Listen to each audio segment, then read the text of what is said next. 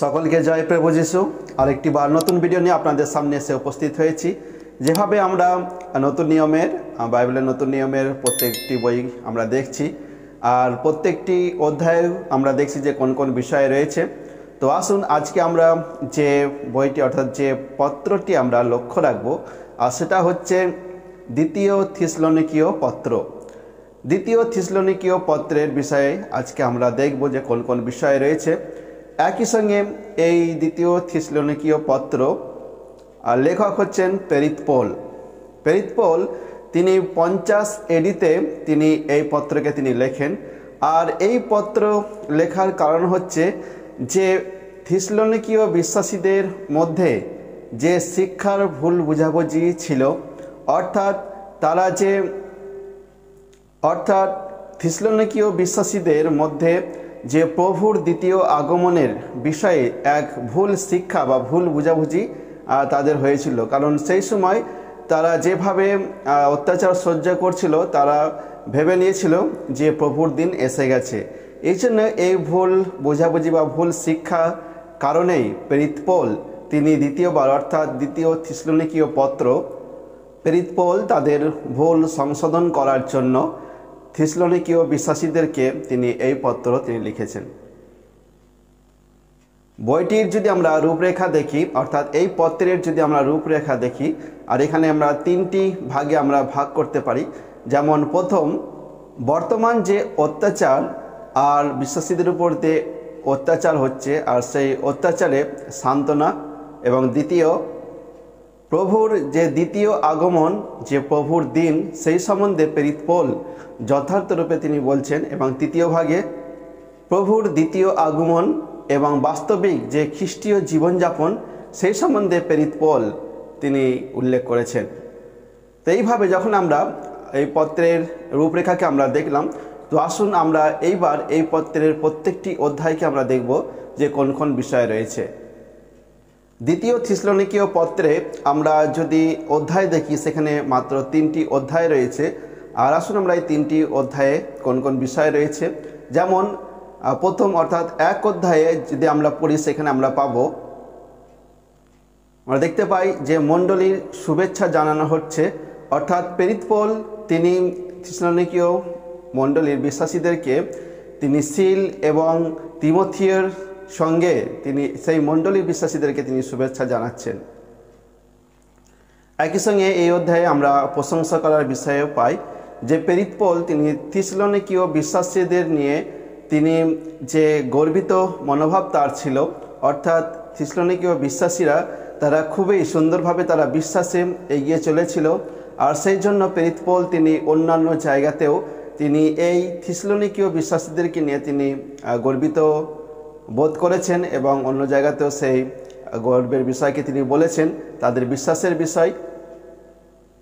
একই সঙ্গে এই থিসলনিকীয় মণ্ডলীর বিশ্বাসীরা তারা যখন অত্যাচারিত হচ্ছিল, আর তাদের যে ধৈর্য, তাদের যে বিশ্বাস, আর বিশ্বাসের যে দৃঢ়, আর সেই বিষয়টা পেরিত পোল অনেক জায়গাতে উল্লেখ করেছেন।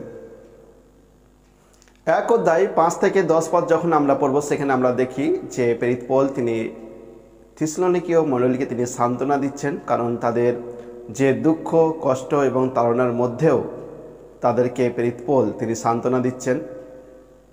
পেরিতপোল তিনি সান্ত্বনার যে ভিত্তি সেই বিষয়ে তিনি যখন প্রকাশ করছেন, আর তিনি বলছেন যে যারা প্রভু যীশুখ্রিস্টকে জানে না, আর তারা যারা সেই শান্তির সুসমাচারকে গ্রহণ করেনি, অর্থাৎ প্রভু যখন তার আগমন হবে আর সেই সময় তাদেরকে সেই শাস্তি দেয়া হবে, অর্থাৎ যারা সেই থিসলনিকীয় বিশ্বাসীদেরকে অত্যাচার করছিল, তাদেরকে চালনা করছিল, অর্থাৎ তারাও সেই দলেরই লোক, অর্থাৎ তাই সেই সমস্ত লোকেরা আর খুব তাড়াতাড়ি তারা ঈশ্বর থেকে তারা দূরীকৃত হবে, আর যেভাবে তাদের জন্য এক স্থান প্রস্তুত করা হয়েছে, সেই শয়তানের জন্য কিন্তু তারাও সেই জায়গাতে তারা উপস্থিত হবে। আর যেটা হচ্ছে নরক, সেই অনন্ত নরক যেটা ঈশ্বর থেকে অনন্তকালের জন্য তারা আলাদা হয়ে যাবে, এই বিষয়কে পেতপল তিনি উল্লেখ করছেন। এক অধ্যায় এগারো এবং বারো পদ সেখানে আমরা পড়ব, যে পেরিতপোল তিনি থিসলনিকীয় মণ্ডলীর বিশ্বাসীদের জন্য তিনি প্রার্থনা করছেন। একই সঙ্গে এই প্রার্থনা করছেন তারা যেন বিশ্বাসে দাঁড়িয়ে থাকে। একই সঙ্গে ঈশ্বরের প্রচার কার্যে, অর্থাৎ সুসমাচার প্রচার কার্যে তারা যেন নিযুক্ত হয় এবং সাহসপূর্বক যেন খ্রিস্টের বাণী, অর্থাৎ সেই সুসমাচার যেন অন্যদেরকে বলে। আর একই সঙ্গে তারা যেন ধৈর্যতা, ধৈর্যপূর্বক তারা যেন ঈশ্বরের পথে এগিয়ে চলে, আর সেই বিষয়ে পল তিনি তাদের জন্য প্রার্থনা করছেন। থিসলনিকীয় মণ্ডলীর বিশ্বাসীদের মধ্য দিয়ে যেন ঈশ্বর গৌরবান্বিত হয়। একই সঙ্গে ঈশ্বর যে তাদের উপরে দয়া করেছেন আর তারাও যেন সে গৌরবকে পায়, সে বিষয়ে আমরা দেখতে পাই যে তার প্রার্থনা করার উদ্দেশ্য। দুই অধ্যায় এক থেকে পাঁচ পদ যখন আমরা পড়ব, সেখানে আমরা দেখতে পাবো যে প্রেরিত পোল তিনি এই কথা বলছেন, অর্থাৎ প্রভুর দিন সম্বন্ধে, অর্থাৎ প্রভু যখন তিনি আসবেন আর সেই মণ্ডলীকে তিনি তুলে নেবেন, সেই বিষয়ে রয়েছে। একই সঙ্গে তাদের যে এক ভুল ধারণা ছিল, সেই বিষয়ে প্রেত পোল তিনি বিশেষভাবে বলছেন, কারণ তারা এই বিশ্বাস করে ফেলেছিল যে তারা যে অত্যাচার সহ্য করছিল, এর ফলে আর থিসলনিকীয় বিশ্বাসীরা ভাবছিল প্রভুর দিন এসে গেছে। কিন্তু প্রেরিত পোল তিনি তাদেরকে এই কথা বলছেন যে প্রভুর দিন আসার আগে প্রভু যীশুখ্রিস্ট তিনি তার দ্বিতীয় আগমন হবে, আর সেই দ্বিতীয় আগমনে মণ্ডলীকে তুলে নেওয়া হবে। যেভাবে দেখতে পাই যে পেরিতপল তিনি প্রথম থিসলনিকীয় পত্রে তিনি এই কথাকে তিনি উল্লেখ করেছেন। একই সঙ্গে এই বিষয়ে তিনি তাদেরকে বারবার তিনি সেই তাদের ভুল সংশোধন করার জন্য তিনি এই কথাকে বলছেন যে প্রভুর দিন যখন উপস্থিত হবে তার আগে প্রভু যীশুখ্রিস্ট তার দ্বিতীয় আগমন হবে এবং তিনি মধ্য আকাশে আসবেন আর মণ্ডলীকে উঠিয়ে নেওয়া হবে প্রত্যেক বিশ্বাসীকে উঠে নেওয়া হবে। সেই বিষয়ে প্রেতপোল তিনি বিশেষ করে তাদের যে ভুল ধারণা ছিল, আর সেই বিষয়টা তাদেরকে পরিষ্কার করে দিয়েছে। যেমন প্রেরিত পোল তিনি তাদেরকে যে তাদের যে ভুল ধারণা, সেই বিষয়ে তিনি বলছেন, প্রভুর দিন যখন আসবে, আর সেটা হঠাৎ এসে পৌঁছাবে, অর্থাৎ যারা অবিশ্বাসী, আর তারা, আর সেই সময় অনেকে সত্য বিশ্বাস থেকে তারা সরে পড়বে আর অনেকে সেই শয়তানের টানে তারা সেই ঈশ্বর থেকে সরে যাবে, সেই কথা রয়েছে। কিন্তু পেরিত বলে কথা বলছেন, কিন্তু প্রভু যীশু খ্রিস্ট তিনি মহিমার সঙ্গে তিনি ফিরে আসবেন। আর সেই সময় যারা সত্য থেকে ফিরে যাবে, আর তাদের, তারা যে শয়তানের ফাঁদ স্বরূপ হয়ে পড়েছে, সেই কথা তারা বুঝতে পারবে। এবং সেখানে খ্রিস্টের যে শত্রু সে প্রকাশ পাবে, অর্থাৎ সেই অবাধ্যতার পুরুষ বা পাপ পুরুষ, যে শয়তান, সে প্রকাশ পাবে এবং অনেকে সেই সত্যের থেকে তাদেরকে ভুলিয়ে দিয়ে যাবে এবং একই সঙ্গে তারা হচ্ছে সেই শয়তানের সঙ্গে নরকের দিকে, তারা যে বিনাশের দিকে এগোবে সেই বিষয়েও প্রীতপল তিনি এখানে উল্লেখ করছেন। দুই অধ্যায় ছয় পদ থেকে নয় পদ যখন আমরা পড়ব, সেখানে আমরা দেখতে পাবো যে মণ্ডলীকে তুলে নেওয়া হবে একই সঙ্গে পাপ পুরুষ, অর্থাৎ সেই অবাধ্যতার পুরুষের তার প্রকাশের কথাকে বিশেষ করে দেখতে পাই। এবং এই পদগুলিতে যে অবদ্ধতার যে পুরুষ এবং সেই পাপ পুরুষ তার যে গুপ্ত বিষয় প্রকাশ পাবে, অর্থাৎ প্রভু যীশু খ্রিস্ট আসার আগে পর্যন্ত সেই অবদ্ধতার পুরুষকে যে বাধা দিয়ে আসছে, আর সে, তা হচ্ছে সেই পবিত্র আত্মা যা আমরা দেখতে পাই পঞ্চসপ্তমীর দিন থেকে। পবিত্র আত্মা বিশ্বাসীদেরকে গাইড সে দিয়েছে একই সঙ্গে তাদেরকে সুরক্ষা দিয়েছে এবং যখন প্রভু তিনি আসবেন এবং সেই মণ্ডলীকে যখন নিতে আসবেন, তখন এই পবিত্র আত্মা মণ্ডলীকে প্রভুর হাতে সমর্পণ করবে।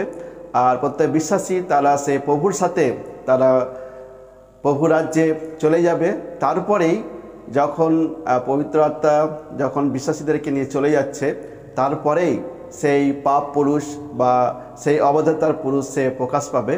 আর সেই বিষয়টা গুপ্ত এই এই বিষয়টা পোল বিশেষ করে ভালোভাবে থিসলনিকীয় মণ্ডলী বিশ্বাসীদেরকে তিনি বুঝিয়েছেন। দুই অধ্যায় দশ পদ থেকে কুড়ি পদ যখন আমরা পড়ব আর সেখানে আমরা দেখতে পাই যে মণ্ডলীকে তুলে নেওয়া হবে এবং একই সঙ্গে যারা শেষ সময়েও সেই সত্যকে অগ্রাহ্য করবে তাদের বিষয় রয়েছে। এবং এই পদগুলিতে প্রত্যেক লোক তারা বুঝতে পারবে।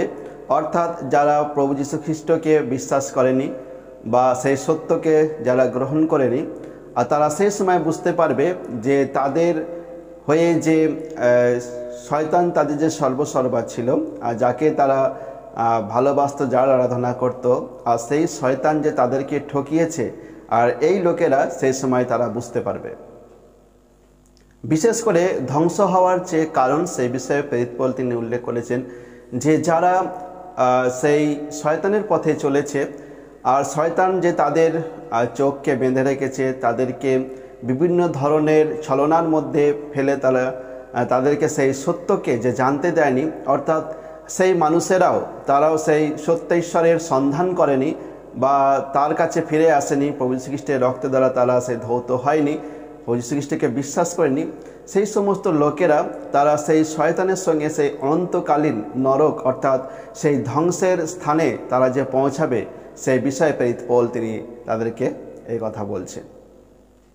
দুই অধ্যায় তেরো থেকে সতেরো পদ যখন আমরা পড়ো সেখানে আমরা দেখতে পাই যে মণ্ডলীকে তুলে নেওয়া, একই সঙ্গে থিসলনিকীয় বিশ্বাসীদেরকে ধন্যবাদ দেওয়ার বিষয়ে এই কথাকে তিনি বলছেন, যেমন পনেরো এবং সতেরো পদ পর্যন্ত এখন পড়ব যে প্রেতপল তিনি তাদের কাছে অনুরোধ করছেন এবং একই সঙ্গে থিসলনিকীয় মণ্ডলীর বিশ্বাসীদের জন্যও প্রেতপল তিনি প্রার্থনা করছেন।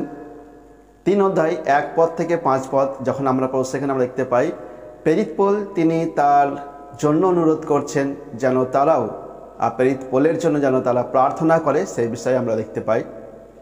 তিন অধ্যায় ছয় পদ থেকে পনেরো পদ যখন আমরা পড়ব, সেখানে যে সমস্ত লোকেরা যারা নামধারী বিশ্বাসী বলে নিজেদেরকে দেখায়, তাদের সঙ্গে মেলামেশা করার যে বারণ বা প্রেতপোল তিনি এই কথা বলছেন, যেন তাদের সঙ্গে চলাফেরা না করা হয়।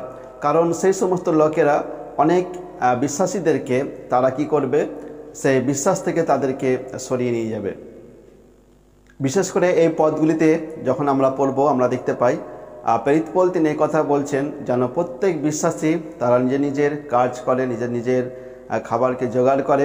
একই সঙ্গে তারা যেন সেই শাস্ত্র জ্ঞানে তারা যেন বৃদ্ধি পায়, যেন সেই ঈশ্বরের বাক্যে যেন তারা বৃদ্ধি পায় এবং একে অন্যের প্রতি, অর্থাৎ প্রত্যেক বিশ্বাসীরা যেন একে অন্যের জন্য প্রার্থনা করে, একে অন্যের জন্য সহযোগিতা করে একে অন্যের পাশে দাঁড়ায়। সে বিষয়ে পেইতপোল তিনি বিশেষ করে সেই থিসলনিকীয় মণ্ডলীকে মণ্ডলীর বিশ্বাসীদেরকে আরেকবার তিনি এই পত্রের দ্বারা তিনি অনুরোধ করছেন।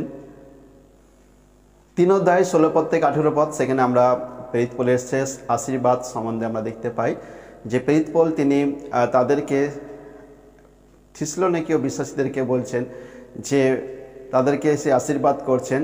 যে শান্তিদাতা ঈশ্বর যেন তাদের সঙ্গে থাকেন, একই সঙ্গে প্রভু যীশুখ্রিস্টের প্রেম এবং অনুগ্রহ যেন তাদের সঙ্গে থাকেন। এই বিষয়ে প্রেতপল তিনি সেই শেষ শুভেচ্ছা বা শেষ আশীর্বাদকে তিনি সেই মণ্ডলীর বিশ্বাসীদেরকে এই পত্রের দ্বারা তিনি উল্লেখ করেছেন। তো এইভাবে আমরা থিসলনিকীয় পত্রের আমরা তিনটি যে অধ্যায় রয়েছে, সেই বিষয়ে আমরা দেখলাম। একই সঙ্গে লেখক সম্বন্ধে, লেখার কারণ সম্বন্ধে দেখলাম। আর বিশেষ করে যে ভুল ধারণা ছিল, আর সেই বিষয়ে পেরিতপোল যে তাদেরকে ভুল সংশোধন করে দিয়েছেন, সেই বিষয়েও আমরা দেখলাম। তো এইভাবে আমরা দ্বিতীয় থিসলনিকীয় পত্রের সব বিষয়টা আমরা লক্ষ্য রাখলাম। তো আসুন আমরা এইভাবে বাইবেলের প্রত্যেকটি বইকে আমরা জানি এবং বইগুলির সঙ্গে আমরা পরিচিত হই।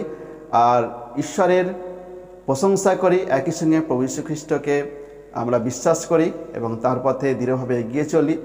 সেই বিষয়ে যেন আমরা সকল সময় আমরা প্রার্থনা করি, যেন আমরা প্রভুর সেই সত্যকে নিয়ে যেন আমরা এগিয়ে চলতে পারি। তো এই ভিডিওটি দেখার জন্য আপনাদের প্রত্যেকে ধন্যবাদ দিই। আসুন আগামী ভিডিও যেন আমরা অপেক্ষা করি। আপনারা সকলেই সুস্থ থাকুন। তাই সকলকে জয় প্রভু যিশু।